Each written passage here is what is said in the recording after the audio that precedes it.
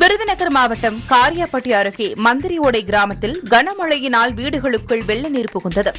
அப்பகுதியை ஆய்வு மேற்கொண்ட விருதுநகர் மாவட்ட ஆட்சித்தலைவர் மேகநாத ரெட்டியிடம் நரிக்குறவை இன மக்கள் தங்களது குழந்தைகளை படிக்க வைக்க ஆவணம் செய்ய வேண்டும் என கோரிக்கை வைத்தனர். இதனைத் தொடர்ந்து உண்டு உறைவிட பள்ளியில் ஐம்பது நரிக்குறவ குழந்தைகள் சேர்த்ததுடன் மாவட்ட ஆட்சியரின் சொந்த விருப்பு நிதியிலிருந்து ஐம்பதாயிரம் ரூபாய் நிதியும் வழங்கினார்.